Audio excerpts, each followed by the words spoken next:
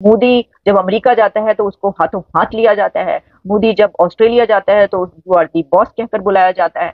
मोदी जब किसी भी दूसरे कंट्री में जाता है तो वहाँ पर उसको सारा आँखों में बिठाया जाता है। प्राइम मिनिस्टर मोदी खुद मंदिर में जाकर सफ़ाई कर रहे हैं।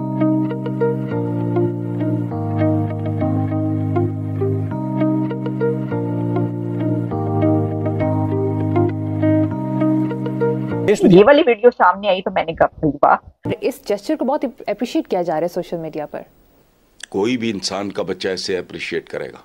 अच्छा देखिए अब काफ़ी अरसे से हम आपको ये बता रहे हैं कि नरेंद्र मोदी एक बहुत ही पॉपुलर वज़ीर आज़म है। पैगाम दे रहे कि हमारा मुल्क है यहाँ की इबादत गाहों को यहाँ के इंस्टीट्यूट्स को इस मुल्क को साफ़ रखना हमारा काम है। अगर कोई मोदी को ब्रांड बोल देता है हमारे भारत के प्रधानमंत्री को कोई ब्रांड बोल देता है। क्या खूबसूरत बात।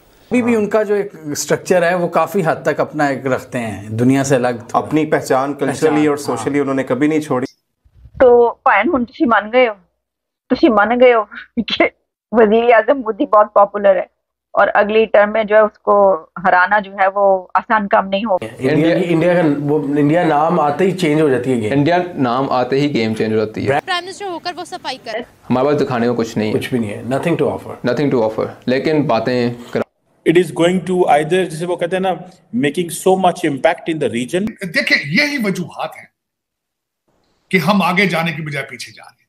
क्या आपको लगता है मोदी वर्ल्ड ग्लोबल लीडर है? कह सकते हैं। इसके अलावा पूरी दुनिया में उनकी स्टे है हर कोई उनकी बात सुनता है उनकी बात कोई रिजेक्ट नहीं करता। मोदी जब अमेरिका जाता है तो उसको हाथों हाथ लिया जाता है। मोदी जब ऑस्ट्रेलिया जाता है तो यू आर दी बॉस कहकर बुलाया जाता है। मोदी जब किसी भी दूसरे कंट्री में जाता है तो वहाँ पर उसको सारा, आँखों में बिठाया जाता है, अफ्रीका से लेकर तो इंग्लैंड तक यूके तक और अमेरिका तक उसके तराने बज रहे हैं। तो आप कैसे उसको जो है वो डिनाई करेंगे निगेट कैसे, किस तरीके से करेंगे? अच्छा फिर ये कि अब वो अपनी नेक्स्ट टर्म में अगर वो थर्ड ला, अगर तो फिर देखें, एक तो होता है कि आप ढिटाई के भाई, कहीं नहीं जी असी नहीं मानते नहीं मानते जो मर्ज़ी कर लो तुम। तो फिर तो वो थर्ड लार्जेस्ट के फ़र्स्ट लार्जेस्ट इकोनॉमी बना लेगा आप तब भी नहीं मानेंगे।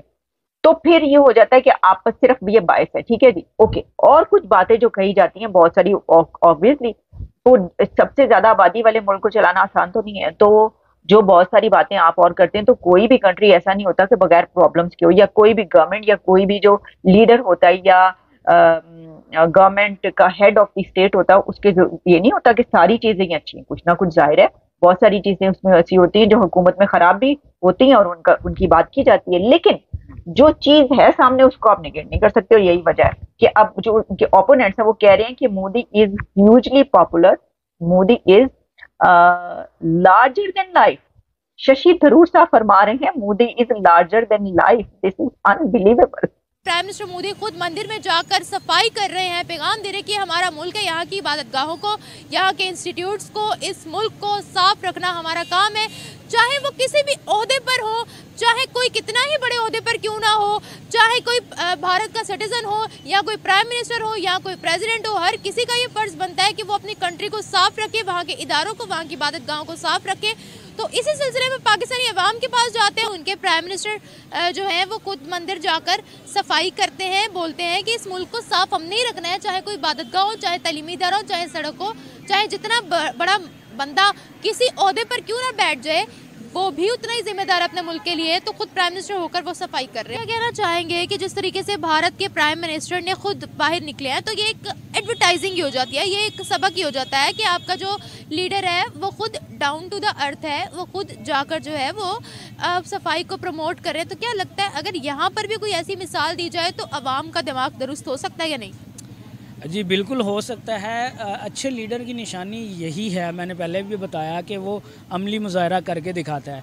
जैसे अगर आप को याद हो इससे पिछली हुकूमत में गालबन ट्री लगाए बिलियन ट्री की जो है ना मुहिम चलाई गई थी तो बिलियन ट्री स्कीम हाँ। लगाए भी गए थे काफ़ी ज़्यादा लेकिन हमारी जो है ना जब नई हुकूमत आती है तो उनका ख्याल रखना बंद किया दिया जाता है।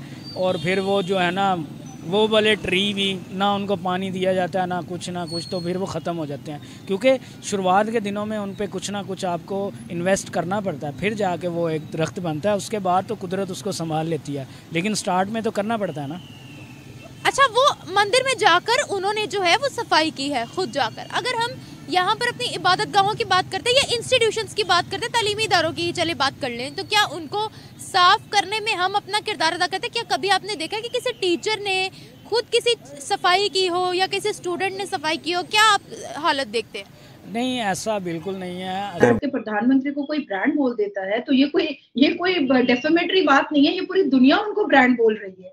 कोई एक व्यक्ति उसको, उनको ब्रांड नहीं बोल रहा है, पूरी दुनिया उनको ब्रांड बोल रही है और पूरी दुनिया उनके साथ अपने रिलेशनशिप अच्छा और बेहतर से बेहतर करने की कोशिश में लगी हुई है।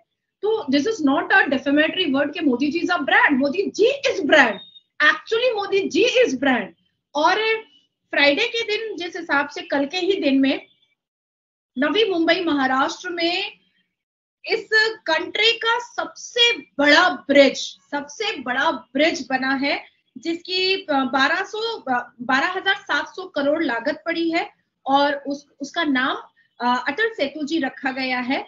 तो मुझे बहुत खुशी हुई है क्योंकि अटल बिहारी वाजपेयी जी एक साहित्यकार थे एक पोएट थे और साथ साथ हमारे और एक बहुत बड़े फ्रीडम फाइटर थे और साथ साथ हमारे देश के पूर्व प्रधानमंत्री भी थे। और अटल बिहारी वाजपेयी जी वो व्यक्ति हैं जिन्होंने बातें उठा दी थी संसद के अंदर 370 एप्रोकेशन की भी, जिन्होंने बातें उठा दी थी संसद के अंदर पार्लियामेंट के अंदर 33 वुमेन रिजर्वेशन बिल की, जिन्होंने बातें उठाई थी, तीन तलाक बैन होने की, जिन्होंने बातें उठाई थी महिलाओं के फंडामेंटल राइट्स की तो राम मंदिर की बातें उठाई थी। तो अटल बिहारी वाजपेयी जी का जब इतिहास खोला जाएगा ना, अनम, और जब मैं उनकी पंथियाँ बोलना स्टार्ट कर दूँ तो मुझे लगता है कि मैं रो पड़ूँगी लेकिन वो एहतसाब वही कर सकता है जिसका खुद अपना दामन साफ़ जो खुद गंदे होते हैं वो किसी को एहतसाब क्या करेंगे? जिनको खुद पता ही नहीं लेगेसी क्या होती है। मैंने मैं, सबसे बड़ा डिफरेंस चीमा साहब आपको आपका और भारत के अंदर सिर्फ़ एक ही डिफरेंस है। आपको लेगेसी का शौक ही नहीं आपको पता ही नहीं लेगेसी चीज़ क्या होती है। आपको किरदार साजी छोड़ दी आपने। भारत में आज भी किरदार बनाए जा रहे हैं। भारत में आज भी लेगेसी का दुनिया को शौक होता है। दुनिया को आज भी शौक है कि दुनिया में हम क्या छोड़ के जा रहे हैं। हमने दुनिया में क्या कंट्रीब्यूट किया क्या पार्टिसिपेट किया। आप लोगों को इस चीज़ों को पता ही नहीं। कोई पता ही नहीं किसी कोई शौक ही नहीं किसी को यार कि हम क्या कर रहे हैं। आप शौक की बात कर रहे हैं। आप शौक की बात कर रहे हैं लेगेसी बात कर रहे हैं। कल देखे ना गुजरात के अंदर उन्होंने वाइब्रेंट गुजरात समिट की है। 2003 में उसकी बुनियाद रखी थी उस समिट की। उसको 20 साल हो गए हैं। कल वो एम बी जेड को बुलाया था मोजम्बिक के सदर को बुलाया था चेक रिपब्लिक के वज़ीर अजम को बुलाया हुआ था। और वो कह रहे हैं कि हम कंट्रीब्यूट एक, तार साहब इंडिया के अंदर स्टेट्स के अंदर जेलसी है। गुजरात कहते हैं, जी, मैं आठ परसेंट इंडिया की जीडीपी में कंट्रीब्यूट कर रहा हूँ। फ़िलहाल स्टेट कहती है, ये हमारी स्टेट्स के अंदर, सूबों के अंदर वो जेलसी नहीं है।